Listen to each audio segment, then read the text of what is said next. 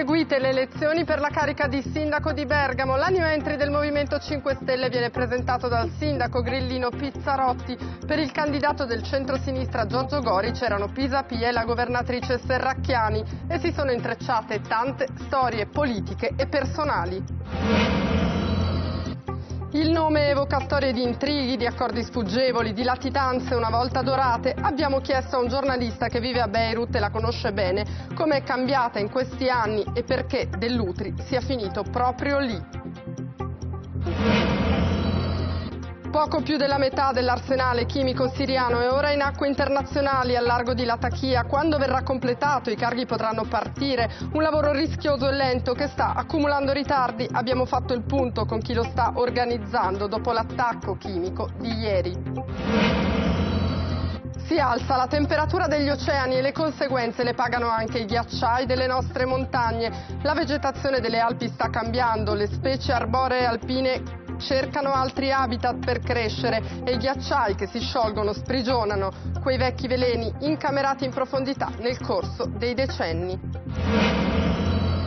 Nelle Filippine un campione nazionale, uno degli sportivi più pagati al mondo, Manny Pacquiao, detto Pac-Man, ha vinto di nuovo a Las Vegas la cintura mondiale WBO dei pesi welter. La sua è una storia di boxe e di politica perché è diventato parlamentare e punta, una volta sceso dal ring, alla presidenza delle Filippine.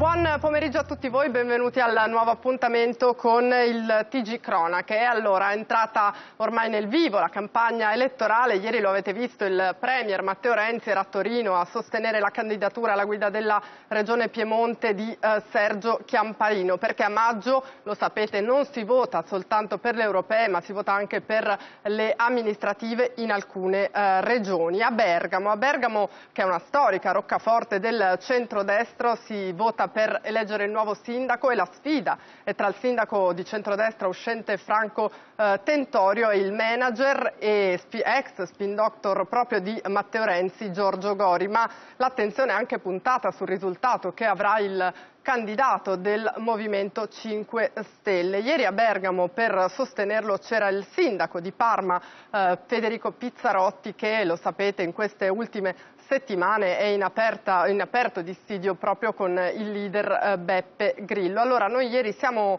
stati a Bergamo per cercare di capire un po' che aria tira. Partiamo da qui.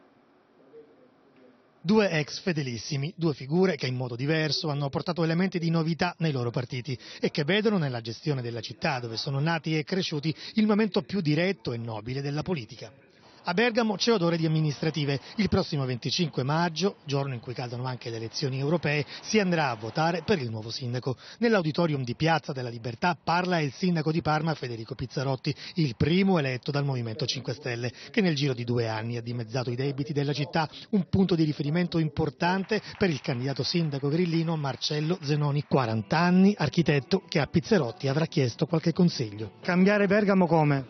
Cambiandolo con la partecipazione dei cittadini ad un progetto concreto in cui crediamo fortemente. La sala è piena, ma le domande dei cronisti al sindaco di Parma si allargano inevitabilmente dall'orizzonte bergamasco. Il tema non è le espulsioni che esistono in ogni partito, in ogni anche gruppo eh, singolo. La, la notazione che avevo fatto io era soprattutto su fare chiarezza su quali sono le modalità, perché ci sono persone in ogni gruppo, come dire, sociale, lavorativo o anche politico, che non condividono più una stessa linea, ma l'importante è chiarire quali sono queste motivazioni per prendere, come dicevo prima per la cittadinanza, scelte consapevoli. La crisi con Beppe Grillo e che crisi, lui Pizzarotti, bollato sul blog dal padre del movimento come Capitan Pizza, incassa bene e replica continuando a muoversi nel suo ambito, quello del territorio, della gestione difficile di bilanci locali in rosso, di battaglie ambientaliste come quelle per l'inceneritore che si possono anche perdere. Incomprensioni e prese di distanza, prima disvelate sui social network, poi spiegate a suon di canzoni. Una telefonata avrebbe fatto calare la temperatura. Lui è qui a Bergamo, una piazza nuova da conquistare nel gergo dei 5 Stelle,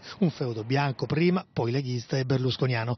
Una città bella e complicata, anche se vista da sinistra, e il giorno dell'apertura ufficiale della campagna elettorale c'è un altro personaggio in primo piano, per dirla con un gergo televisivo, a lui ben conosciuto. Si gioca molto il 25 maggio Giorgio Gori, l'ex direttore di Canale 5 degli anni d'oro, uno sperimentatore nella rete generalista più importante di Mediaset, poi imprenditore televisivo e poi ancora tra i primi a credere nella forza costruttiva della rottamazione di Matteo Renzi. Ora si gioca la carta di primo cittadino di Bergamo, sfiderà anche Franco Tentorio, il potente sindaco uscente del centrodestra, con Gori sul palco la governatrice del Friuli Deborah Seracchiani, renziana, e Giuliano Pisapia che seppe vincere a Milano dopo più di vent'anni di centrodestra e Lega. L'uomo del cambio si legge sullo sfondo del palco, palloncini bianchi, spille e magliette, atmosfera renziana della prima ora, che ricorda i tempi della prima Leopolda, quella del 2011, quando si disse che fosse proprio Gori l'autore delle cento proposte del programma. L'anno dell'esploit con Varico e Zingales sulle note assordanti di Giovanotti.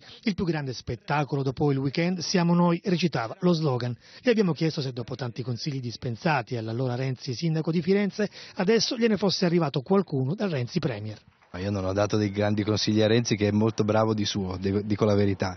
Eh, in questo caso non, non, ho consigli da parte sua, se me li vuole fare arrivare io sono sempre pronto a raccoglierli ovviamente. Tra i fedelissimi renziani c'è chi dice che Gori in fondo non si sia mai allontanato da Matteo Renzi, così come Pizzarotti da Grillo, è solo una questione di personalità e carattere che tanto servono in politica.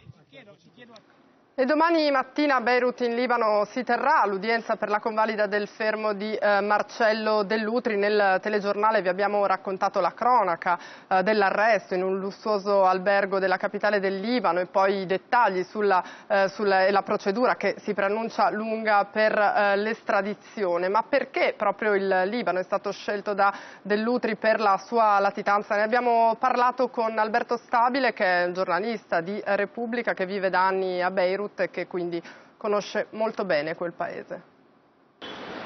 Dimenticate la Parigi del Medio Oriente che alla fine degli anni 60 accoglieva bancarottieri in fuga come Felicino Riva. 45 anni dopo la capitale del Libano porta ancora i segni di una guerra civile durata 15 anni, un tutti contro tutti che ha sconvolto la fisionomia delle strade e delle etnie. Dalla poesia si è passati alla tragedia, guerre di invasione, blitz armati, attentati di ogni tipo, fino a quello che ha stroncato nel 2005 la vita del premier Hariri, che aveva ricostruito la città con i soldi sauditi, ucciso su quel lungomare che era la meta preferita dei VIP anni 50 e dove è stato trovato anche Marcello Dell'Utri, l'ultimo latitante. Come si può spiegare la scelta di Beirut? La scelta eh, di Beirut appartiene ancora agli arcani di, di, questo, di questo, caso, a, a, dire, ai motivi non, non, non spiegati, non noti, perché quelli che sono stati eh, messi avanti da Dell'Utri non sembrano francamente molto credibili. È vero che il sistema sanitario di Beirut privato è costosissimo, è considerato un, un sistema molto molto efficiente, però per un cittadino diciamo, di Milano, per un uomo che vive a Milano e che ha a disposizione anche la possibilità di, di andare nei, nelle migliori cliniche, nei migliori ospedali, insomma, eh, trasferirsi a Beirut per eh, seguire i postumi di un intervento di angioplastica mi sembra un po' esagerato. Alberto Stabile, giornalista della Repubblica, vive a Beirut da molti anni. Berlusconi avrebbe detto di aver inviato lui dell'Utri a Beirut eh, per parlare con il leader cristiano Gemayel a nome di Putin, una triangolazione che ti sembra credibile? Mi, mi, mi, suona um, assolutamente nuovo che, che, che, ci siano rapporti tra Gemayel e Putin, ho visto questa triangolazione Putin-Gemayel. Eh, Berlusconi. Gemayel è sicuramente uno dei candidati non ancora pienamente eh, svelatisi del, alle prossime eh, presidenziali eh, libanesi la cui campagna è già in corso e che dovrebbe concludersi entro il 25 maggio, salvo ovviamente eh, adeguamenti e adattamenti alla difficoltà del dibattito politico che a Beirut è notorio. La vicenda dell'Utri ha come cornice un paese costantemente lambito dalle fiamme dell'incendio siriano, con un milione di persone che in Libano hanno trovato asilo. Il fragilissimo governo di Beirut non dovrebbe avere alcun interesse ad aprire un contenzioso con l'Italia. Questo governo intanto è guidato da una persona che ha fama di di incorruttibilità e di, e di, e di, di, onestà politica, intellettuale, il premier Tamam Salam, che è stato scelto anche per questo, per questa sua posizione diciamo, di terzietà rispetto alla, così, alle lotte politiche interne libanesi. Domani verrà discusso, dovrebbe essere discussa la richiesta italiana di estradizione. Quante possibilità ci sono che venga accolta? La legge in teoria eh, permetterebbe l'estradizione di, di, un cittadino italiano così come eh, di un cittadino libanese se è arrestato in Italia se perseguito da un mandato di cattura. Ma c'è anche una postilla in, questa, in, questa, in questo articolo della legge che se questo mandato di cattura viene considerato politicamente motivato, allora ovviamente le, la procedura eh, si allunga, si, si complica, eh, bisognerà eh, aspettare questa, la decisione delle autorità libanesi per capire eh, se ci sono eh, c'erano eventuali, eventuali, connivenze eh, di cui eh, noi allo stato attuale eh, non sappiamo. E dalle vicende che riguardano dell'Utri in Libano ci spostiamo nella vicina Siria dove continua la cronaca terribile di un conflitto che eh, dura ormai da oltre eh, tre anni. E nel paese è tornato, torna l'incubo delle armi chimiche, ci sono stati nelle ultime 48 ore due attacchi, sette vittime e un rimpallo di responsabilità tra eh, regime e ribelli mentre continuano le operazioni per distruggere l'arsenale chimico siriano. Alla mente torna eh, quella strage dell'agosto scorso a uh, Guta con i suoi oltre uh, eh, 300 morti uccisi dal gas sarin e una recente inchiesta del New York Times ha svelato che Bashar al-Assad non aveva, non possiede quel gas e quell'attacco chimico sarebbe stato compiuto dai ribelli. Immagini terribili, adulti e bambini che faticano a respirare, stesi per terra in affanno avvelenati e soffocati da un nuovo attacco con gas velenoso. Di nuovo in Siria ancora la guerra tra ribelli e Bashar al-Assad, un conflitto che va avanti da più di tre anni. Due morti, oltre cento feriti il bilancio dell'attacco di ieri con gas clorino nel villaggio di Kfar Seita, zona centrale del paese, come ha riferito la TV di Stato siriana. Immediato è stato reciproco accusarsi della paternità dell'attentato da parte dei due fronti in guerra, ribelli e regime, come è accaduto lo scorso agosto dopo la strage di Guta, un sobborgo di Damasco, dove un attacco chimico provocò la morte di centinaia di persone. Immediata era stata l'assegnazione di responsabilità al regime di Assad, ma diversi indizi, scoperti anche recentemente dal giornalista americano premio Pulitzer Seymour Hersh, hanno accreditato anche l'ipotesi che l'attacco sia stato portato dai ribelli di al-Nusra, appoggiati dalla Turchia per spingere gli Stati Uniti ad intervenire. E in effetti lo scandalo internazionale seguito al diffondersi delle immagini della tragedia avevano provocato la dura reazione di Obama pronto a intervenire al fianco dei ribelli con la Russia che si era invece schierata a protezione del regime di Assad, un allargamento preoccupante del conflitto che si era evitato solo per l'intervento dell'ONU che era riuscita ad ottenere se non la fine del conflitto almeno il disarmo dell'arsenale chimico da parte di Assad. È passato quasi un anno e sono solo 12 le operazioni effettuate sotto il controllo dell'OPAC, Organizzazione per la proibizione delle armi chimiche, attraverso un complicato complicato iter che prevede l'imballaggio e il trasporto dei materiali tossici al porto siriano di Latakia. Un'operazione questa delicatissima perché si attraversa una zona di guerra. L'arrivo a Gioia Tauro su due cargo scandinavi, Taiko e Arc Futura,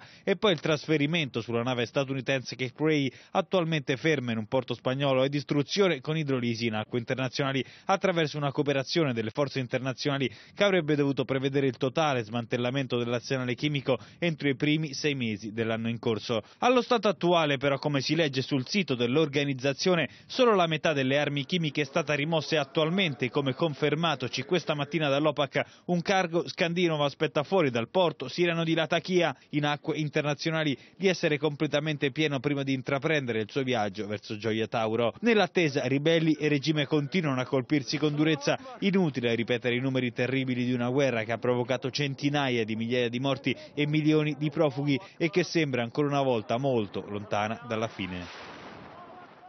E nel telegiornale avete sentito il clamoroso e eh, gravissimo caso dello scambio di eh, embrioni all'ospedale Pertini eh, di Roma. Una donna alla quale quattro mesi fa, a dicembre, nel dicembre scorso, sono stati impiantati gli embrioni di due gemelli che non sono i suoi. Un caso appunto clamoroso che apre la discussione con, continua sul vuoto legislativo che ruota attorno alla fecondazione assistita e alla necessità di una legge regionale. All'indomani della storica sentenza della eh, Corte Costituzionale eh, che mh, ha decretato l'incostituzionalità eh, della eterologa abbiamo parlato con l'avvocato Maria Paola Costantini che è l'avvocato che ha portato davanti alla consulta due coppie e al caso di due coppie ha vinto il ricorso.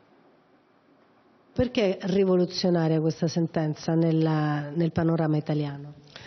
Perché erano proprio le persone escluse e perché appunto incide poi in generale su un'impostazione della legge 40 molto rigida e discriminatoria ed era ehm, anche in qualche maniera assurda perché poi le nostre coppie andavano tutte all'estero con dei costi altissimi e poi tornavano in Italia e, tutto ritornava come prima. Però questi bambini, come dire, sono nati in maniera nascosta, nessuno sapeva come erano nati, c'è una sorta di stigma su queste coppie e questa sentenza è importante perché restituisce la dignità a tutte le persone. C'è però chi ha parlato di eugenetica. Quali sono stati i commenti, secondo lei, meno appropriati a questa sentenza? Allora, il primo è esattamente quello dell'eugenetica, perché in questo caso non c'è nessuna scelta riguardo al gamete, quindi al seme e all'ovocita. Il sistema eh, prevede semplicemente che i cosiddetti mm, gameti sovranumerali eh, di altre coppie infertili possano essere donati attraverso una regolamentazione che è quella che poi riguarda tutta la donazione di organi, tessuti e cellule, quindi è un sistema eh, assolutamente tranquillo usato in tutti i paesi del mondo. Un'altra cosa che è assolutamente non vera riguarda mm, il commercio di, di, gameti, in realtà proprio facendo riferimento sia alla legge 40 che a questa legislazione di origine europea, le prestazioni saranno tutte gratuite, i donatori non verranno pagati, sarà assicurato l'anonimato non sarà più possibile il disconoscimento di paternità e quindi ci saranno tutte le condizioni finalmente anche di sicurezza per le coppie. E poi ultima cosa ma importantissima i centri che dovranno fare, eh, che potranno fare la, la, donazione di gameti saranno soltanto centri autorizzati. Ecco, lei parlava di centri pubblici perché in realtà fino al 2004 erano, era possibile fare la fecondazione assistita solo in centri privati, è così? Sì, questa è la, la, questione paradossale. Fino al 2004 solo i centri privati potevano fare le donazioni. Ora ricordiamo che la, le, le, molte eh, regioni e comunque il Servizio Sanitario Nazionale protegge queste coppie infertili e quindi noi ci assicuriamo, cioè vogliamo che siano le strutture pubbliche che facciano la donazione dei gameti e seguano le coppie sterili. Perciò ci dovrà essere anche tutta una riorganizzazione di questi centri che ormai non esistono più in realtà ehm, sarà più facile di quanto previsto perché tutti i centri di fecondazione assistita autorizzati hanno già dei gameti crioconservati. Quello che servirà probabilmente è che l'Istituto Superiore di Sanità insieme alle società scientifiche e devo dire anche con l'apporto delle associazioni civiche come cittadinanza attiva facciano un regolamento come è stato fatto in altri casi, in altri paesi e facciano delle linee guida. Quindi non serve una legge. C'è chi ha detto che questa è l'ultima spallata alla legge 40. In fin dei conti sì, perché con la sentenza, del 2009, si è riconosciuto la necessità di dare importanza alla donna, alla salvaguardia della sua salute e si sono cambiate già dei punti centrali. Con quest'altra sentenza sempre la Corte Costituzionale sono stati fatti altri cambiamenti e quindi da questo punto di vista la spallata c'è tutta e quindi ritorna il diritto alla scelta, il diritto alla protezione della salute e una sorta di responsabilità dello Stato nei confronti dei propri cittadini senza abbandonarli all'estero.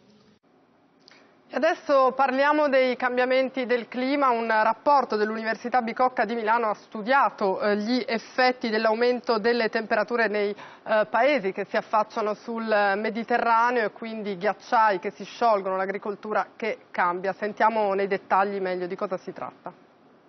Poco meno di un grado all'anno nell'ultimo secolo. L'aumento costante della temperatura del globo nell'era post-industriale scioglie i ghiacci artici, scatena tifoni atlantici, ma sta anche cambiando casa nostra. Gli effetti sull'habitat dei paesi che si affacciano sul Mediterraneo viene monitorato dal centro di ricerca Polaris dell'Università Bicocca di Milano. Sta cambiando il mondo agricolo. Vite e cereali si spostano più a nord, mentre l'aumento di anidride carbonica modifica la fotosintesi delle foglie, impoverendo soprattutto i cereali. Salgono i gradi e gli uccelli migratori cambiano i loro percorsi. Le rondini nei parchi agricoli del nord Italia diminuiscono ogni anno di oltre l'8%. In Europa il calo è contenuto all'1%. L'ecosistema più a rischio è quello alpino se si verificassero le condizioni peggiori previste dall'IPCC, ossia un aumento di circa 4,5 gradi centigradi nel prossimo, entro la fine del secolo, circa il 60% delle specie alpine delle montagne del sud dell'Europa potrebbe essere soggetta a rischio di, di estinzione. Muschi, erbe e arbusti cercano di sopravvivere, scompaiono dalle vette sempre meno ghiacciate ma rinascono dove trovano la neve. Le frane, le valanghe oppure discontinuità microtopografiche del terreno. In questi ambienti abbiamo visto che uh, alcune specie permangono anche a, a, più bassa quota. È una resistenza estrema in uno scenario non positivo, però diciamo così che abbiamo l'esempio del, di alcune specie alpine che in montagne basse come gli Appennini Uh, continuano a perdurare. Lo scioglimento dei ghiacciai che causa dissesti idrogeologici sta anche sprigionando sostanze tossiche. I DDT per esempio, le diossine, sostanze molto usate nel passato, concentrate nel ghiaccio vecchio, nel ghiaccio di 30-40 anni fa. Lo scioglimento dei ghiacci può rimettere in circolazione queste, queste sostanze. Eh, rimettendole in circolazione è stato dimostrato che nei torrenti alpini di scioglimento glaciale le concentrazioni sono molto più alte che non nei torrenti di origine sorgiva, per esempio. Quando si scende a valle gli effetti dell'inquinamento diventano drammatici. Secondo uno studio della Commissione europea, ogni abitante della pianura padana, dove le emissioni delle grandi città restano intrappolate in un'area circondata per tre lati da montagne, perde in media 2-3 anni di vita a causa dello smog, contro una media europea di 8,6 mesi. Effetti infiammatori a carico dell'apparato respiratorio e effetti di tipo cardiovascolare eh, come eh, infarti e, e ictus. Ora sappiamo che il PM è un agente cancerogeno di tipo 1 e lo sappiamo ufficialmente. Per ogni aumento di 10 microgrammi a metro cubo di PM10 la mortalità per cause naturali aumenta dello 0,69%. Nel suo paese le, Fini, le, Filippine è un eroe nazionale ed è anche un campione, mentre da noi è semisconosciuto, però la sua storia è, una, è la parabola di un uomo che ce l'ha fatta partendo dal basso, ha raggiunto record sportivi nel suo sport che è la box, ma anche in politica. Si chiama Manny Pacquiao ed è uno degli sportivi più pagati al mondo. Manny Pacquiao ce l'ha fatta ancora. A 35 anni suonati è tornato campione del mondo dei pesi welter versione WBO, facendo letteralmente impazzire il suo paese, le Filippine, dove è venerato come un dio. Pacquiao ha battuto nella notte l'americano Timothy Bradley. L'incontro si è disputato all'MGM di Las Vegas nel pieno stile degli anni d'oro del pugilato. Borse milionarie, 20 a Pacquiao e 6 a Bradley, più le percentuali sui diritti TV e il tutto esaurito nell'arena. Il mondo intero ha seguito il match in TV o su internet, in streaming, dai pub degli States a quelli delle Filippine, tutto come una volta. Il match era il secondo di una serie che nessuno sa quando finirà. La prima sfida l'aveva vinta Bradley nel 2012, dando vita però a una lunga coda di polemiche. Vittoria ai punti con il filippino dominatore, verdetto contestato in tantissimi dubbi di corruzione. Bradley, dopo il match, era caduto in una profonda depressione, tanto da confessare qualche giorno fa di aver tentato addirittura il suicidio. Sono fatti così i pugili, duri sul ring, fragili nella vita. Pacquiao Bradley è una di quelle sfide d'altri tempi come Tyson Holyfield o Sugar Ray Leonard, Roberto Duran, per citarne soltanto due.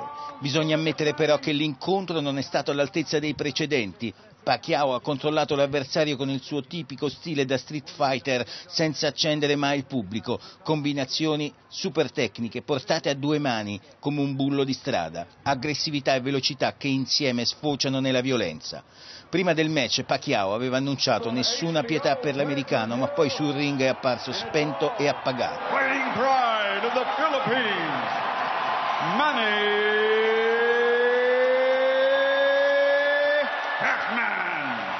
Manny Nelle Filippine è un eroe, rappresenta il paese come la nazionale di calcio l'Italia, è anche cantante da milioni di dischi, attore del cinema, politico, ufficiale dell'esercito, ha una laurea honoris causa ed è stato anche portabandiera alle Olimpiadi. Il popolo lo ama perché Pacquiao è nato povero, si pagava la palestra vendendo sigarette per strada, è una sorta di icona del paese, tanto che la sua faccia l'hanno stampata su di un francobollo. Nel pugilato Pacquiao rappresenta lo spettacolo puro, rischiare tutto senza paura. Due anni fa ha subito il suo terzo KO in 19 anni di attività, ha rischiato di non riprendersi ma poi è tornato. Alla vigilia del match con Bradley si era sparsa la voce che fosse malato, un principio di Parkinson, ma lui non ha commentato pubblicamente. La mia vita è questa, ha detto alla moglie e ai quattro figli, voglio fare ancora due match, poi chissà. Pacquiao è stato campione del mondo in otto categorie diverse, nessuno c'era mai riuscito, significa che nella sua lunga carriera, è professionista dal 1995 con 61 incontri disputati e solo 5 sconfitte, è passato dai 51 kg dei pesi mosca ai 67 dei welter leggeri, 16 kg di differenza senza mai cambiare stile, una trasformazione pazzesca, impossibile fare paragoni con altri sport.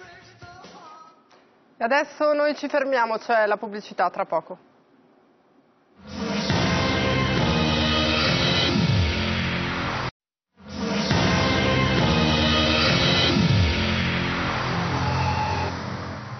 Quattordici e trentadue minuti di nuovo in diretta, non ci sono aggiornamenti, allora prima di chiudere vi ricordo come sempre il nostro sito tgla7.it questa sera alle 20 il telegiornale, poi come sempre domani alle 14 torna il TG Cronache. Buona domenica a tutti.